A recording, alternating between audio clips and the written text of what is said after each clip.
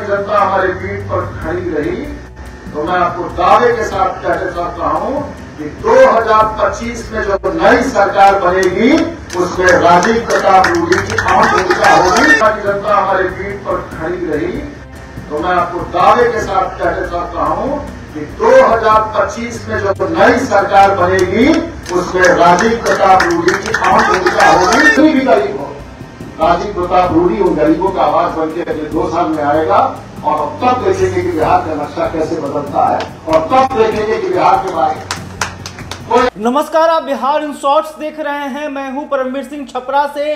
BJP के सांसद और पूर्व मंत्री राजीव प्रताप रूडी ने बड़ा बयान दिया है। सोनपुर में लोगों को संबोधित करते हुए उन्होंने कहा है कि 2025 में अगर बिहार में सरकार बनेगी उसमें राजीव प्रताप रूडी की अहम भूमिका होने जा रही है। इसके अलावे उन्होंने कई मुद्दे को लेकर अपनी बातें कही है और कहा है कि आने वाले समय में बिहार का मैं नक्शा बदल दूँगा।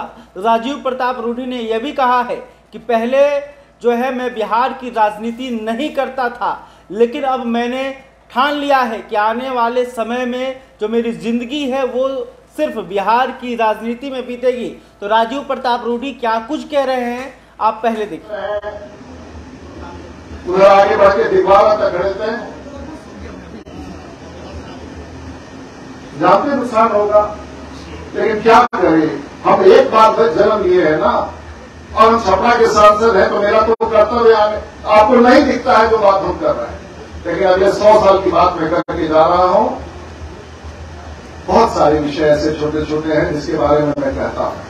लेकिन आजकल हम बिहार में एक बहुत बड़ा अभियान शुरू किया पता नहीं आप लोगों में से कितना लोग सुना है और देखा है जरा हाथ उठाइए, हमारा वीडियो लोग देख रहा है।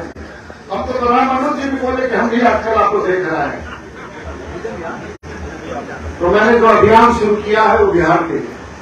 और अभी तक हमने 22 जिला देखा और जो धरती पर उबल के आ रहा है, जिस तरह से लोग हमारे साथ जुड़ रहे हैं आपका सीना, सारण के लोगों का सीना चौड़ा हो जाएगा, जिस तरह से पूरे बिहार में लोग उभर के अभी तो हम मधेपुरा गए थे।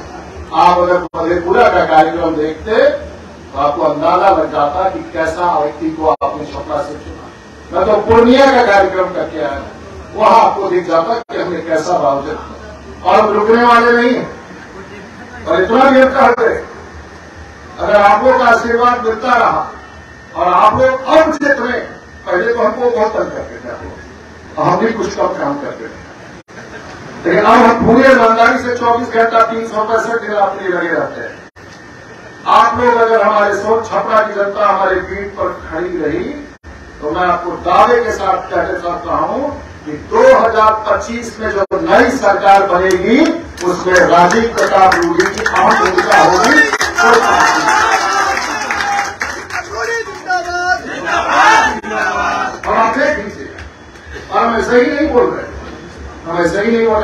हैं ऐसे ही नहीं प्रोफेसर ऐसा ही हमारे जान उड़ाते हैं।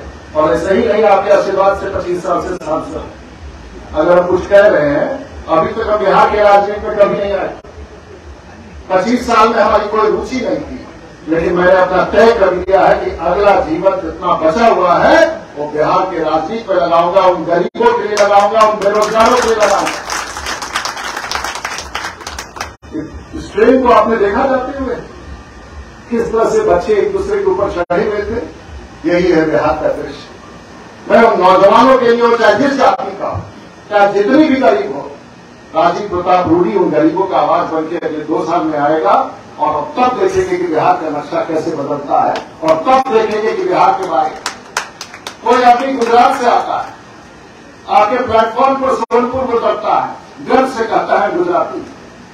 पंजाब से कोई आता है आपके प्लेटफॉर्म पर उतरता है पूछते कहाँ से आए हो गर्व से कहता है कि पंजाबी महाराष्ट्र से कोई आदमी आता है, आपके प्लेटफॉर्म पर उतरता है गर्व से कहता है कि महाराष्ट्र बिहार का आदमी लुधियाना में उतरता है गर्व से नहीं कहता है कि वो बिहारी बिहार का आदमी बम्बई में उतरता है, डर से किसी को नहीं बताता है कि वो बिहारी है।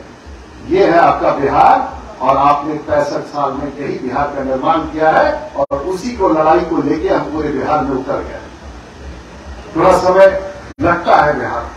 मधेपुरा से यहाँ आने में, पूर्णिया से आने में दो कार्यक्रम के बाद आठ से दस घंटा लगता है। जो आदमी घंटा भर गाड़ी में बैठने के लिए तैयार नहीं था, आज बिहार के दौरे पर आठ आठ घंटा और दस दस घंटा अपने गाड़ी में बैठा रहता है, उसकी तैयारी हो आप सब लोगों की ज़रूरत और अभी जब हम बोल रहे हैं तो कम से कम हम देश भर में दस लाख लोग हमको देख रहा है। लाइव टेलीकास्ट हो रहा है सोनपुर। बता दे, कौन ऐसा नेता है जो तो सोनपुर को दस लाख लोगों को एक बार में दिखाता हो? इस समय दस लाख लोग देख रहे हैं। लाइव टेलीकास्ट हो रहा है। हमारा तो कमिटमेंट बिहार के लिए हमारा तो कमिटमेंट छपरा के लिए है। और बहुत चीज़ की, बहुत सारे विषय हैं जिसके बारे में मैं बहुत अलग अलग तरीके से बात कर सकता हूँ। हाँ फ़िलहाल आठ सौ करोड़ का सुपर ग्रिड के सैंक्शन हुआ है।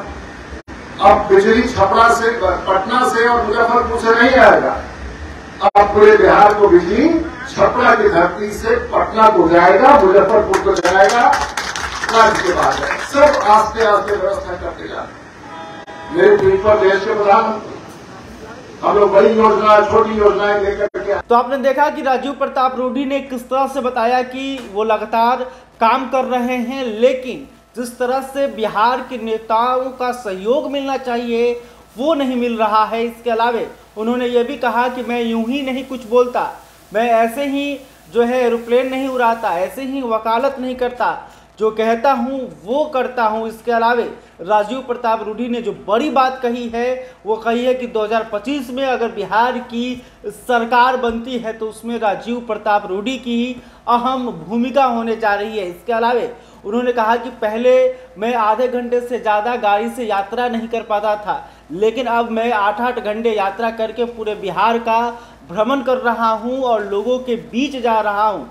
तो कहीं ना कहीं राजीव प्रताप रूडी जिस तरह से भाषण दे रहे थे 2025 को लेकर उन्होंने जो बातें कही है, वो अब दर्शाता है कि राजीव प्रताप रूडी जो है बिहार की राजनीति में बहुत ही सक्रिय होंगे और आने वाले समय में उन क्या कुछ करते हैं, ये भी देखना होगा। क्योंकि जिस तरह से राजीव प्रताप रूढ़ी को लेकर यह कहा जा रहा है कि बीजेपी का शीर्ष कमान जो है, वो राजीव प्रताप रूढ़ी से खुश नहीं है। राजीव प्रताप रूडी इस बीच पूरे बिहार का भ्रमण कर रहे हैं लोगों के बीच जा रहे हैं और अपना विजन बता रहे हैं कि आखिर वो बिहार के लिए क्या कुछ करना चाहते हैं। तो पार्टी लाइन से हटकर जिस तरह से राजीव प्रताप रूडी काम कर रहे हैं तो कहीं ना कहीं आ, ये बगावती चेहरा देखने को मिल रहा है। बहरहाल अभी तक आपने हमारे चैनल को सब्सक्राइब नहीं तुरंत कर इस खबर को लेकर आप क्या सोचते हैं कमेंट करके बताइएगा। वीडियो फेसबुक पर देख रहे हैं तो हमारे पेज को भी लाइक कर ले। धन्यवाद।